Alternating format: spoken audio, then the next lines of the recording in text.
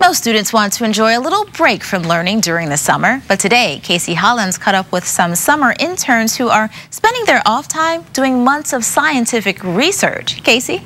That's right. Most of us eat things like strawberries, oats, and squash without really knowing much about what they're made of.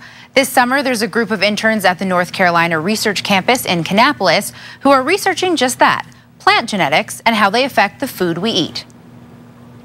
Camry Wagner is a bona fide science nerd. I really like nutrition and plants, just anything that has to do with biology. But she didn't get the science gene from her family. Great grandparents worked in the mill, my grandparents worked in the mill, my, um, my mom, my dad, my, my aunts, my uncles, literally my whole family. She's talking about the mill that used to stand where the North Carolina Research Campus now does. To have that connection on a similar ground, you know, they were working in the mill, but now I've returned to the same land that they were on and being able to kind of continue that, you know, that family tradition of working in the area in Kannapolis. But the work she's doing is a little different.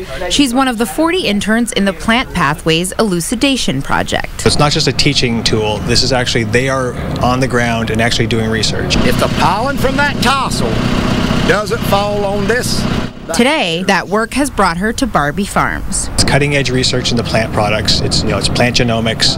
It's they're learning how plant breeders go about making their decisions. You take plant A versus plant B, and cross or you use plant C. So they learn how those strategies come to be and how, yeah, how they can actually help in that process. This summer internship isn't just a simple science project. It's real research that eventually could change the way we eat. The students have a chance to work on basically literature, caliber, um, projects that's good enough to be actually you know, published in peer-reviewed scientific journals. And that's really what this program is all about, paving the way for these students to turn into full-fledged scientists. I can really see myself, you know, working in a facility like this, studying the same, you know, plant pathways. The work these high school, undergraduate, and graduate students will do uh, will be built on by professional researchers once the summer is over. The idea is that some of it will carry over to next summer's group of budding scientists.